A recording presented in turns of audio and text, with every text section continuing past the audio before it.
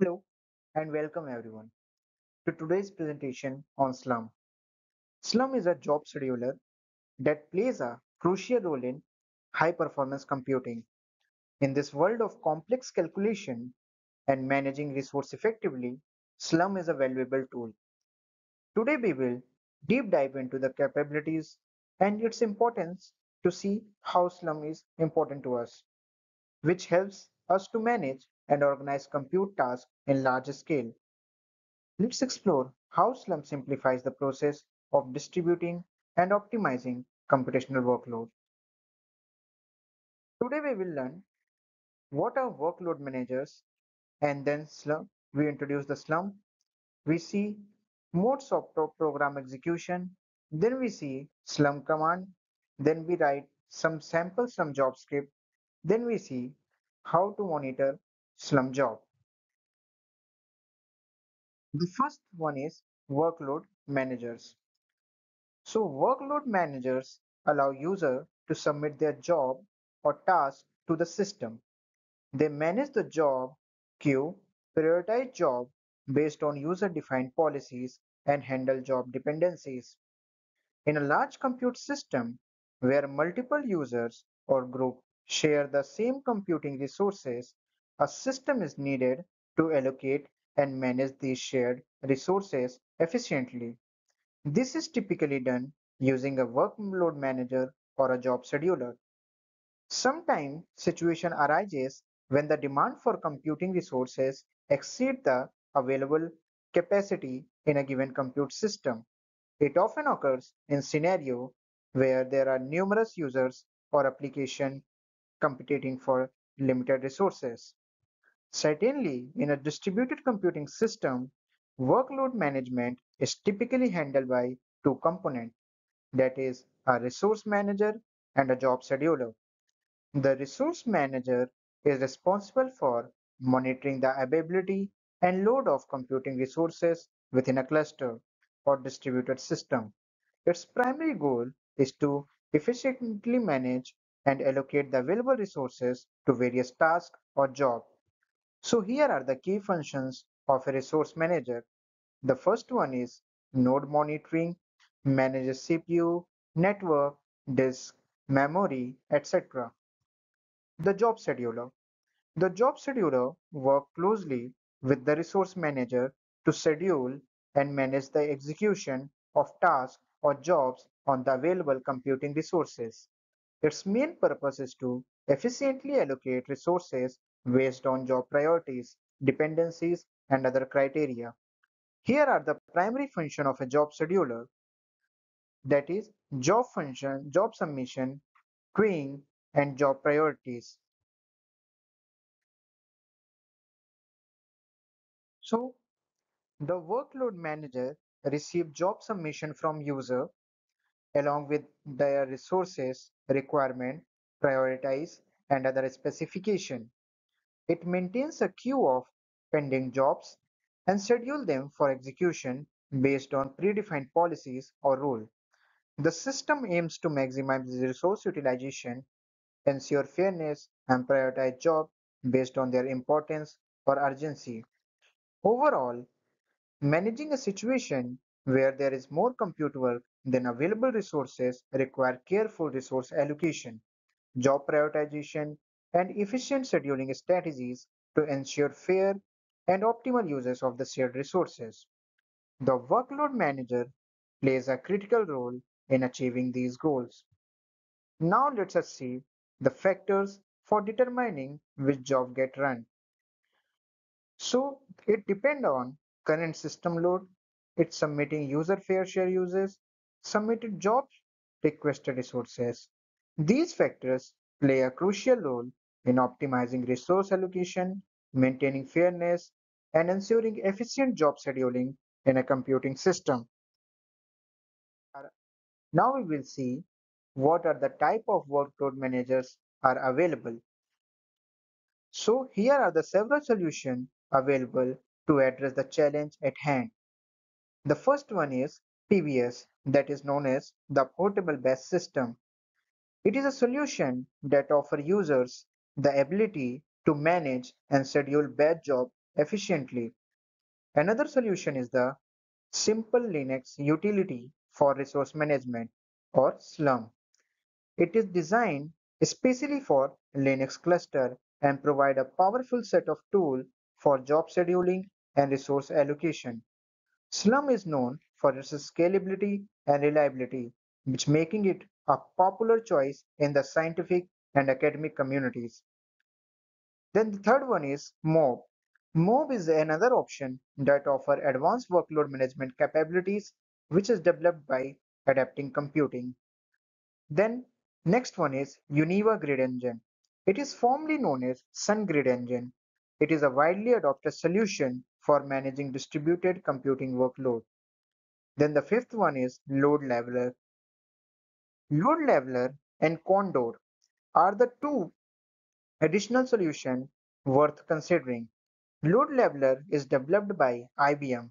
It offers workload management capabilities for distributed computing environment, while Condor focus on providing a high throughput computing solution. The sixth one is OpenLava. OpenLava is a workload management system which is developed by Adaptive Computing. Lastly, IBM Platform LSF that is known as Load Sharing Facility. It is a comprehensive workload management solution that offers advanced jobs scheduling, resource management, and monitoring capabilities. But in our HPC, we cluster, we prefer. Now we'll see what is Slurm. The simple Linux utility for resource management. It is an open source cluster management and job scheduling system. It provides a comprehensive set of tools and features to efficiently allocate and manage computing resources in a cluster environment. One of Slurm key functionality is it is serving as both a resource manager and a job scheduler. As a resource manager, Slurm keep tracks of available resources in the cluster, such as CPU, cores, memory, and GPU. It provides a centralized view of the cluster resource utilization, allowing administrators to efficiently allocate resources to different jobs and users. As a job scheduler, Slurm handles the submission, queuing, and prioritization of jobs in the cluster. User can submit their computational task to Slurm, specifying their resource, requirement, and any other job-specific parameter. Slurm then manages the job queue, schedule jobs execution based on various policies, and track their progress. For comprehensive information uh, on Slurm feature, configuration option, and uses, there is an official document provided by SchedMD.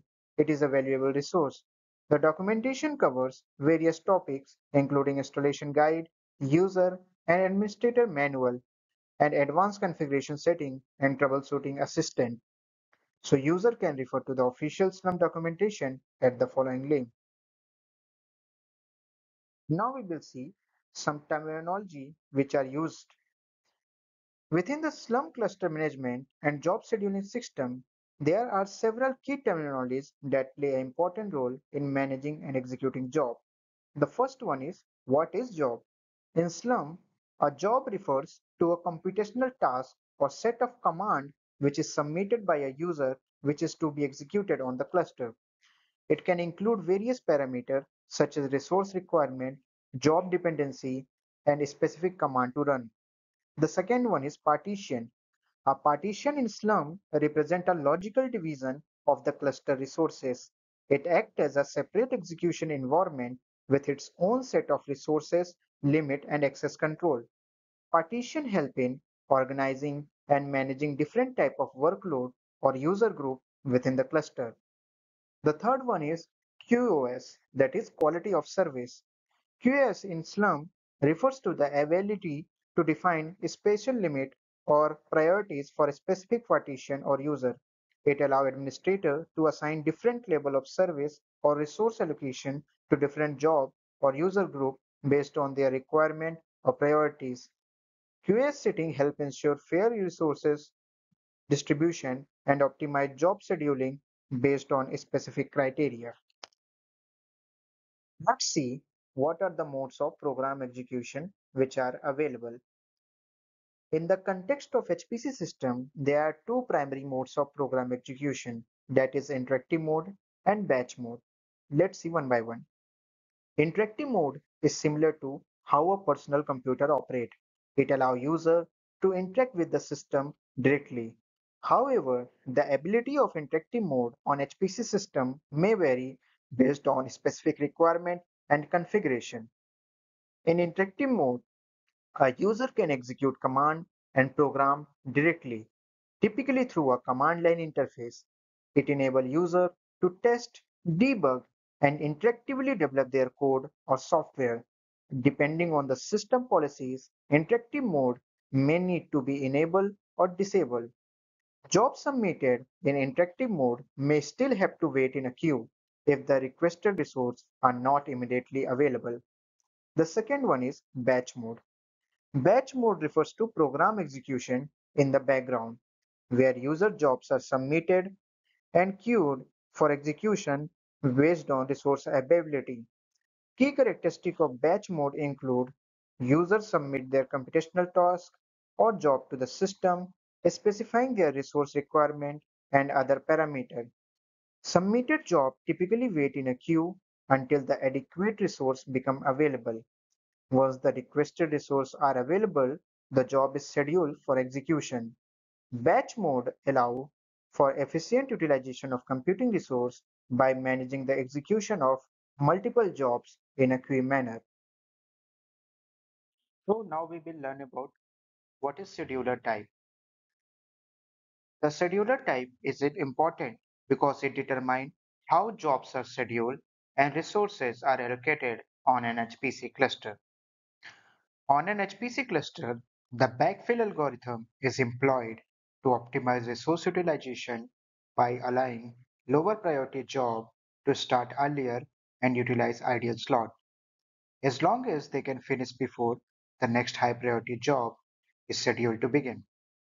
The algorithm has maximized the efficiency of the cluster by filling ideal resources with lower priority jobs whenever possible.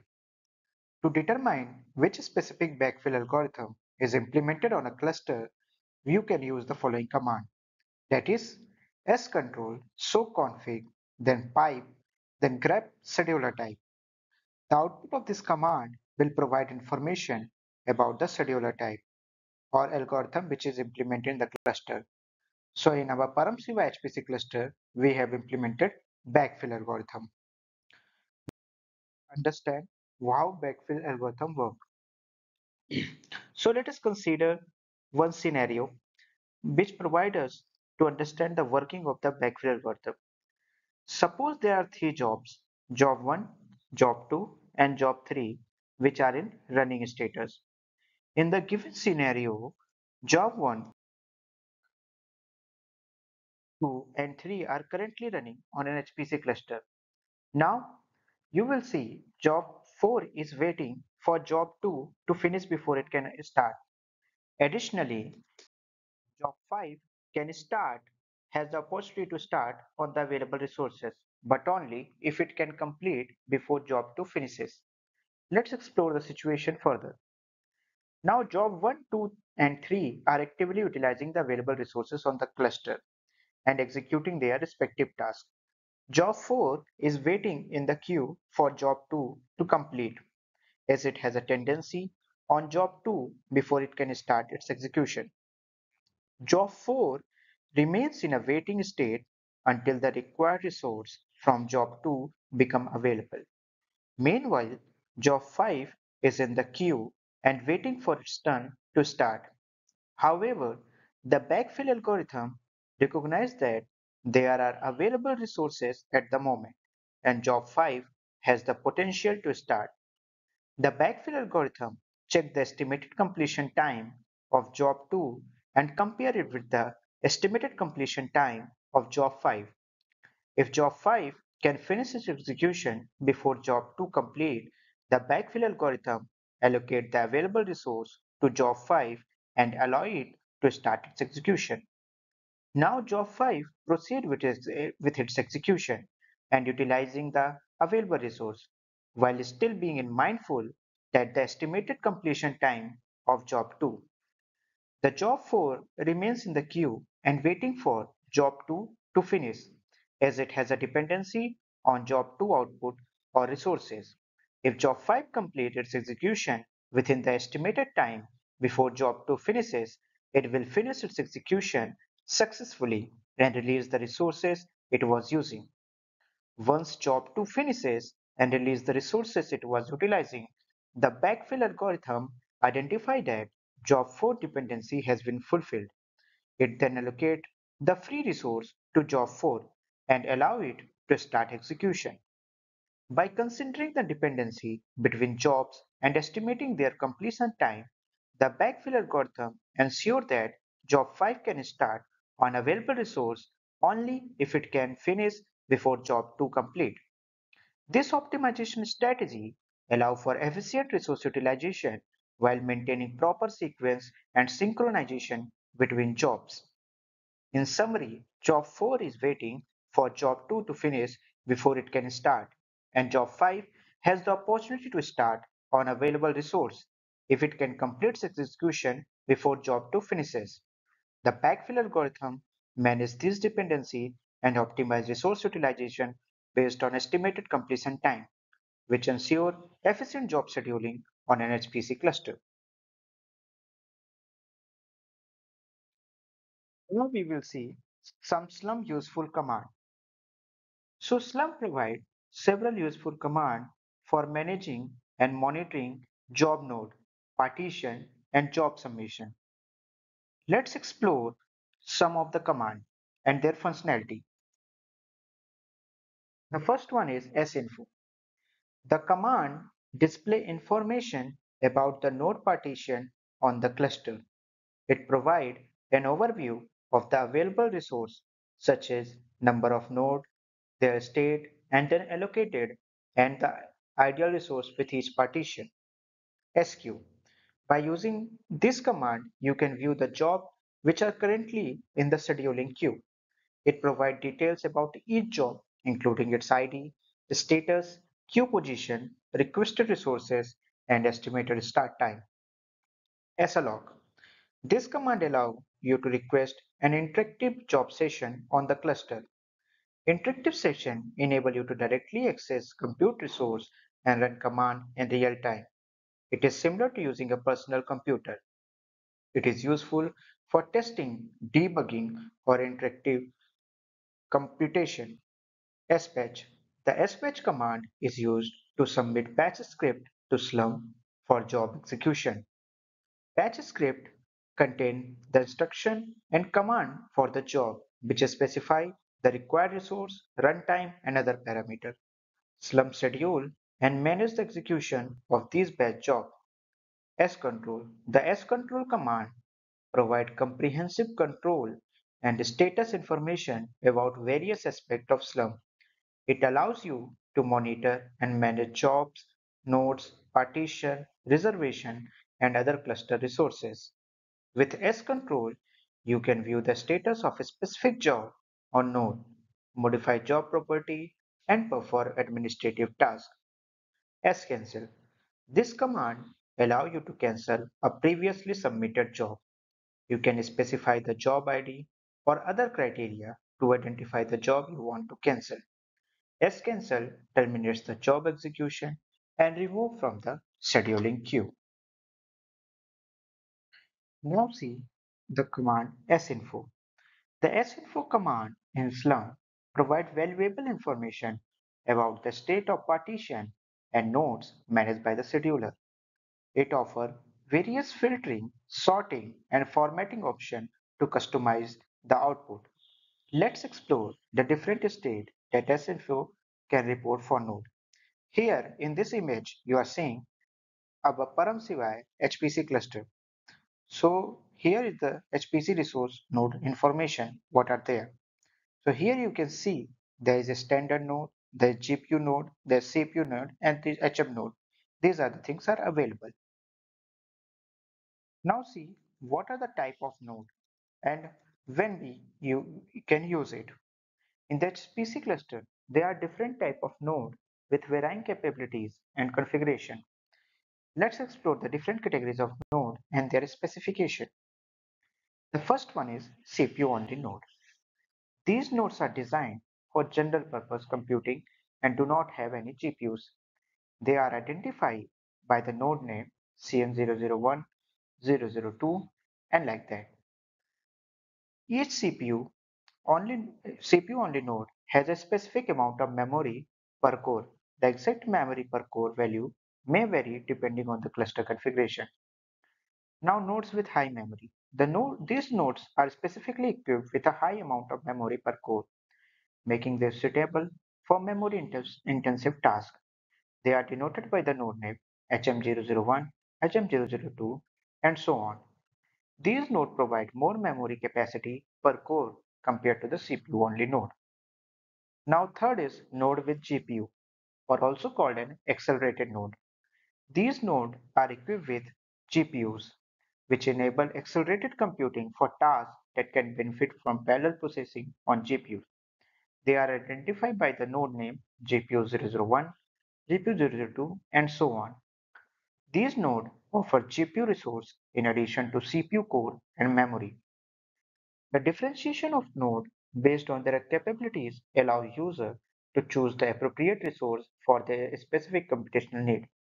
CPU-only nodes are suitable for general-purpose computing tasks, while high-memory nodes are ideal for memory-intensive workload.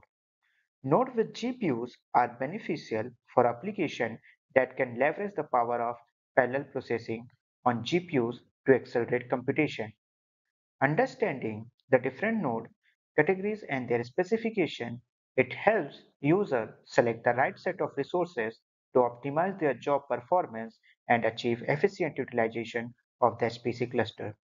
In summary, the HPC cluster consists of CPU-only node with memory per core node with high memory and node with GPUs. Each category of node offer distinct capability and specification which catering to different computational requirement and enable user to choose the appropriate resource for the specific workload. Now see some slurm command. In slurm, Two important commands for job submission and resource allocation are sbatch and salloc. Let's explore their functionality. sbatch. The sbatch command is used to submit a job script for later execution within Slurm system. A job script is typically a text file which contain a series of command and instruction which have to be executed. The script may include one or more srun command to launch parallel tasks or perform a specific action. When using sbatch, you can specify the job script as an argument and slurm schedule and execute the job at an appropriate time based on available resources and scheduling policy. For example, if I write sbatch my sample script and submit the my sample script job script for execution. Now salloc command. The salloc command, it allows you to allocate resource in real time for immediate job execution. It is particularly useful for interactive job session or when you need to reserve resource for a specific duration. With salloc, you can specify various options such as requested time, partition, and number of node to allocate. For example, salloc time is equal to 1, partition is equal to GPU, and node is equal to 1. It means that we are requesting a 1 hour allocation on the GPU partition for one node. Once the allocation is granted, you can interactively run command or launch job within the allocated resources. Now we see the srun command. In Slurm, the srun command is used to submit a job for execution or initiate job steps in real time. It provides flexibility in launching both sequential and parallel job with various resource configuration. Let's explore some example of how srun can be used. The first one is sequential job, that is with single CPU on one node. To submit a sequential job that utilizes one CPU on a single node, you can use the following command like srun hyphen hyphen pty and then slash bash. This command initiate a bash shell session and execute command sequentially and utilizing the resource of a single CPU on one node. If I want the parallel job with shared memory, there is multiple CPUs on one node.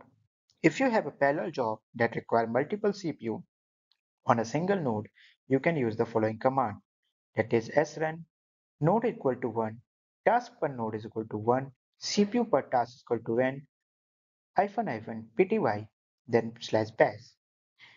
Here, replace n with the desired number of CPUs. This command initiate a bash shell session with parallel execution where each task utilizes one CPU on a single node. If I want parallel job with distributed memory, that is multiple CPUs on multiple node. For a parallel job that requires distributed memory across multiple nodes, you can use following command. That is srun n task per node is equal to n, nodes is equal to m, CPU per task is equal to 1 hyphen hyphen pt bash. Here replace n with the desired number of tasks per node and m with the number of nodes. This command initiate a bash session with parallel execution, where each task utilizes one CPU on each of the specified number of nodes. Additionally, you can specify other options with srun to customize job execution, such as time limit, memory requirement, GPU resources, etc. Now here are some of the examples I listed below. Interactive job with time limit and resource allocation. Like srun node equal to n, n task per node is equal to 1, time m is allocated 1 hour, hyphen hyphen pty bash hyphen i hyphen i used for interactive session. This command initiate an interactive bash shell session with a time limit of 1 hour on one node, where the session can be used for interactive work or executing command. Now job with time limit memory and GPU resource allocation. If we want to allocate a GPU, how we can do this? srun, then we have given time is 1 hour 30 minutes. Then we have given a specified memory. That is, we want a 3000 MB of memory and then press GPU colon 1 hyphen pt slash bin slash bash. So this command submit a job that has a time limit of 1 hour and 30 minutes and require 300 MB of memory and request 1 GPU resource for execution. So here you are seeing multiple option in Slurm like hyphen node hyphen n task. We have discussed it earlier. You can see more further. Now here in this slide, you are seeing a sample Slurm script. So the Slurm script must be start with hash exclamatory mark slash bin slash bash. It is at the beginning of the script and it is specified and it should be interpreted that it is using a bash shell. The line starting with hash sbatch are slurm directive. These directives provide instruction to slurm on how to allocate resources and manage the job. The hash sbatch hyphen node is equal to 1. It means that it is specified that the job should be allocated on one node. Then hash sbatch n task per node equal to 1. It indicated the job should have one task per node. Then there is sbatch time is equal to 5 minutes. It set the time limit for job to be 5 minutes. And the time limit will be given in hour, minute and second. Then sbatch hyphen partition. It is specifying the partition to which the job should be submitted. In this case, the partition name is CPU. Then sbatch hyphen o percent j dot out and sbatch hyphen e percent j dot error. It set the file name for the job standard output and standard error respectively. The percent %j placeholder is replaced by the job ID when the job is submitted. The line srun hostname execute the hostname command using the srun command. This command will be executed on the allocated resource that is and it will print the hostname of the node. The line srun if we given echo dollar slurm underscore job id It print the slurm job ID using the echo command. The dollar $slurm job ID variable is provided by slurm and it represents the unique ID which is assigned to the job. Now you see how to run a sample script. To send your job for scheduling, you need to use the sbatch command followed by the name of your job script like this sbatch sample.sh. This command instructs the scheduler to take the content of the sample.sh script and execute it as a job on the computing cluster. Once you execute the sbatch command, you will receive feedback in the terminal. The scheduler will respond with a message such as job submitted that is job submitted by job 35298. The number 35298 represents the unique identifier assigned to your submitted job. This message confirms that your job has been successfully sent to the scheduler for execution. At the same time, the scheduler initiates the job execution process and generates two files associated with your job that is job id.error and job. The job id.error, this file is known as standard error file. It captures any error messages, warning, or exceptional event that occur during the execution of your job. If there are any issue or unexpected occurrence during the runtime of your job, they will be recorded in this file, and which review the content of this file, you, you can diagnose and address any problem that may have occurred. The job id.out, this file is referred to as the standard output file. It stores the regular output which is generated by your job. This includes any print statement, log messages, or the textual output produced by your script during its execution. The content of this file provides a record of normal operation and progress of your job. It can be helpful for debugging purposes or reviewing the result produced by your script. By examining the information in the standard error and standard out file, you can gain insight into the execution of your job and identify any error or issue encountered and review the output which is produced by your script. Now we will see a Slurm job script for a serial job.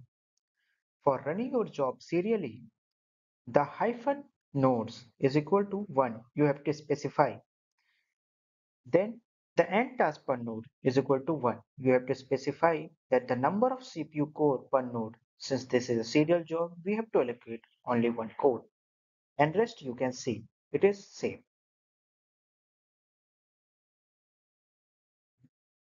Then running an mpi job. If you want to run an mpi job so here i have taken number of node is equal to 2. It is specified that the job should run on 2 node. You can adjust this value as per your requirement. Here I have given n tasks per node is equal to 2. It means that it is specified that the number of MPI processes to be launched on each node. In this example, it is set 2. Then I have given a time for 1 hour. So the maximum duration of the job is 1 hour. You can adjust this value as per your requirement. Then I have given job name. Your job name is mpi underscore hello. It set the name of the job. You can customize it as needed. Then error file job %j.error. Here you can specify the name of the error file where any error out will be redirected. Similarly, job %j.out. It specifies the name of the output file where the program output will be redirected.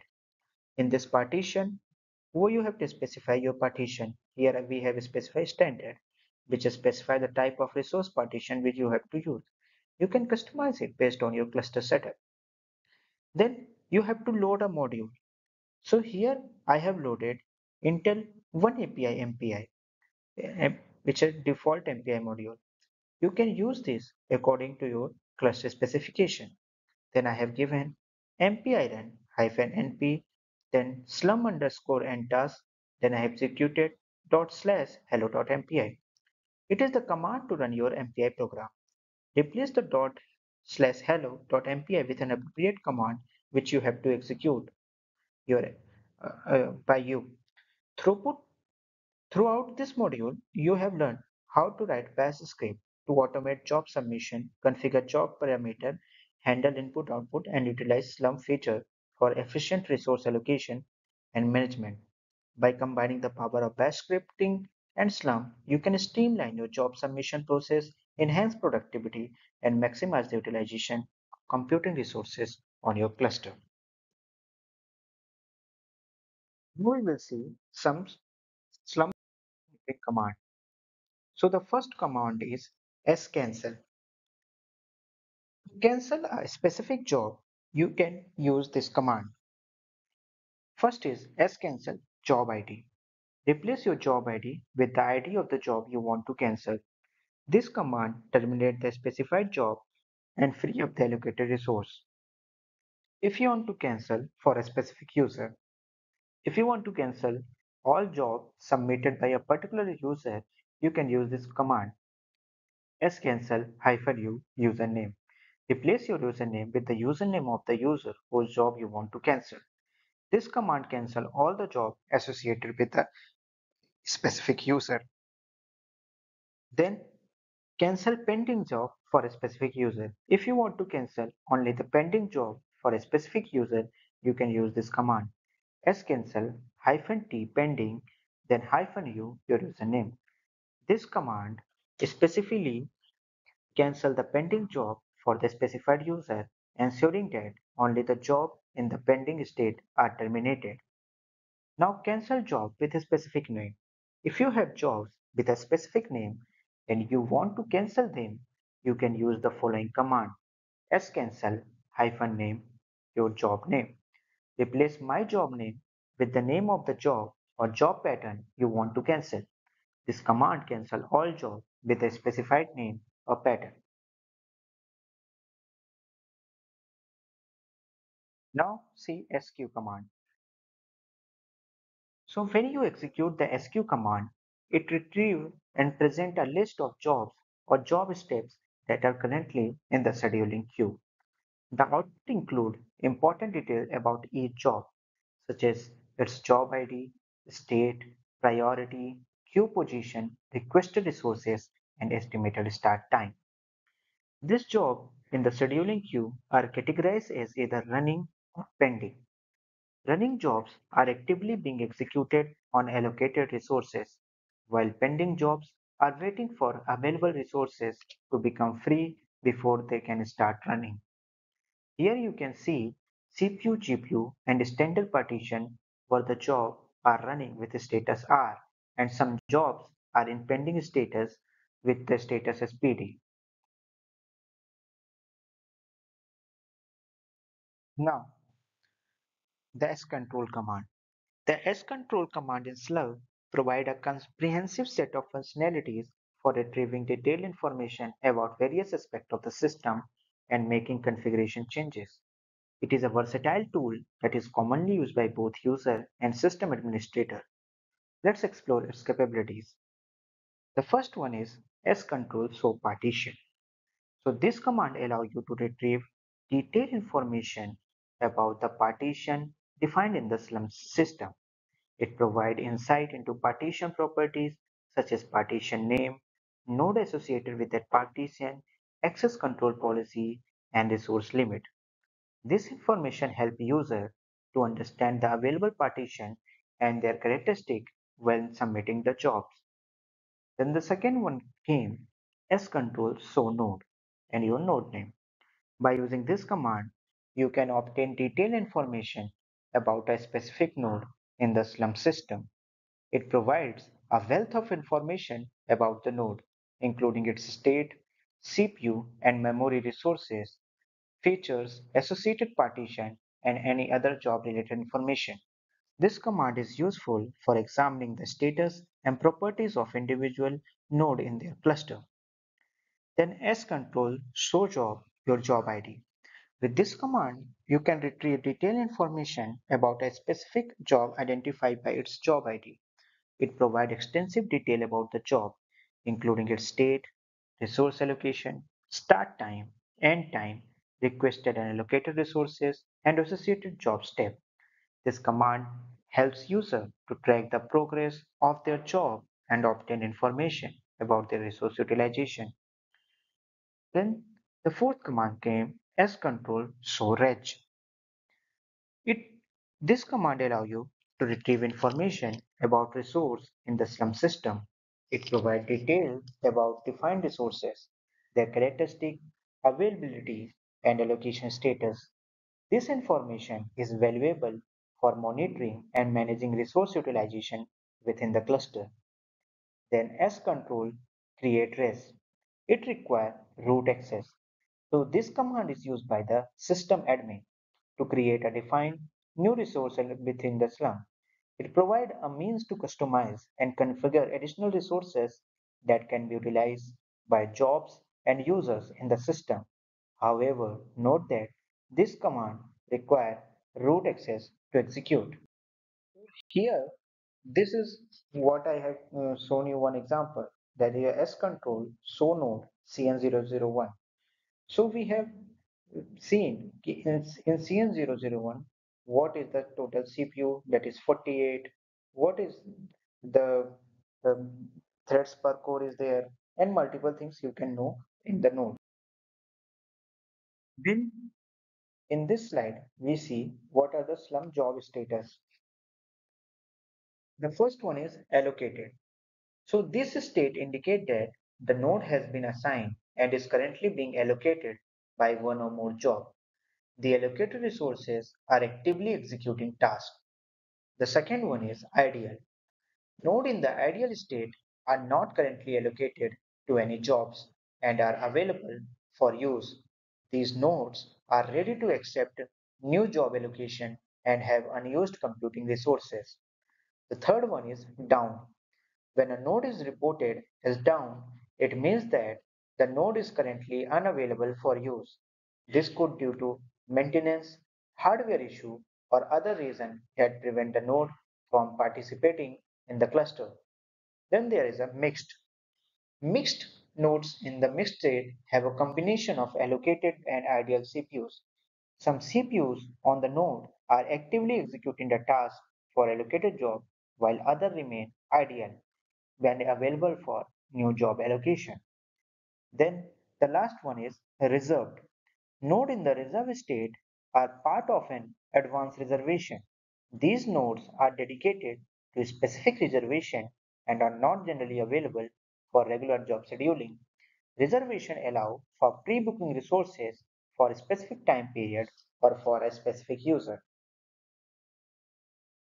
Then here you can see slurm job status code.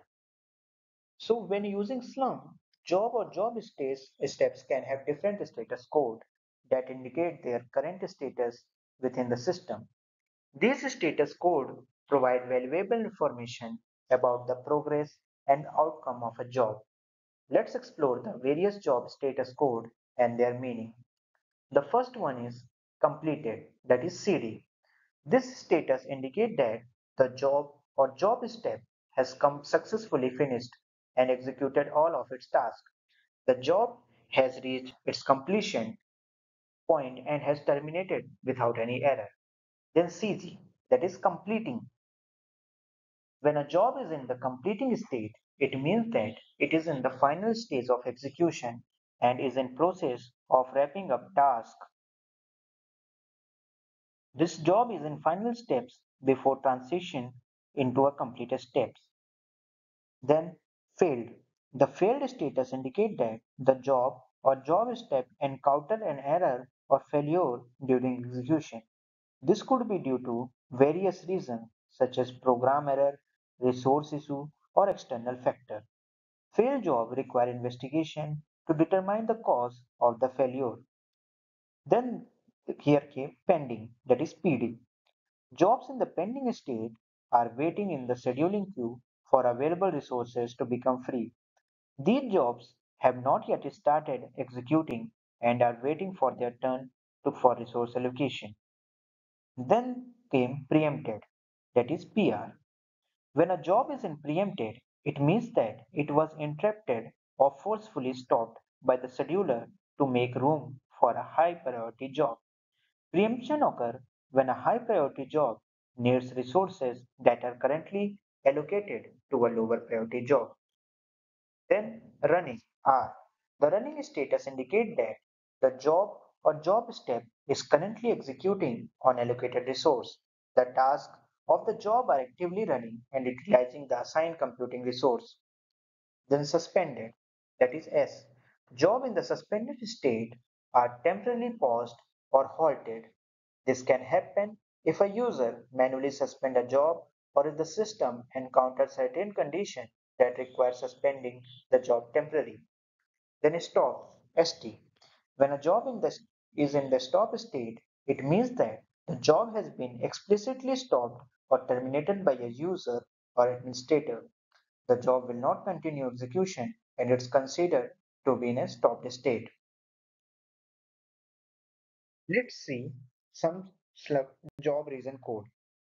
In Slurm, there are several factors and conditions that can affect job scheduling and execution. Let's explore some of these factors and their implication. The first one is priority. Priority refers to the relative importance or urgency assigned to a job. Jobs with higher priority have a great chance of being allocated resources and start execution earlier. Priority is determined based on various factors such as fair share uses, requested resources, and scheduling policy defined in the slurm configuration. The second one is dependency. Dependency refers to the relationship between jobs where the execution of one job depend on the successful completion of another job. Job can be set to start only after specified dependency are satisfied. This ensures proper sequencing and coordination of tasks that rely on the output or resources of other jobs. The third one is resource. Job require specific resource such as CPU core, memory, GPU, or other specialized hardware to execute successful. Slurm allow user to specify their resource requirement in the job submission, ensuring that the necessary resources are available and allocated for job execution. Then invalid account. Slurm uses an account-based system to track resource uses and enforce allocation policies. If a job is submitted with an invalid or unauthorized account, it will be rejected and not scheduling for execution. This ensures that only valid and authorized user or account can utilize the resource of the HPC cluster. Then QoS group max job limit. Then the QoS, that is quality of service, group provide a way to define a specific limit and constraint on job scheduling and resource usage. QoS group max job limit refer that the maximum number of jobs that can be submitted or executed within a particular QoS or group. This limit ensures that fair resource allocation and prevent any single group from monitoring the resources. Sorry, it is monopolizing, monopolizing the resources. Requested node not available. Sometimes job submission may specify a specific node requirement or feature request. If the requested node or features are not available at the time of job scheduling, the job may receive a request node not available status. This indicates that the required node or feature are currently unavailable and the job will remain pending until the resource become available. Now, whatever we have learned, so we execute some slurm command and write one script, one for CPU and one for GPU. Now it's a demo time. Thank you.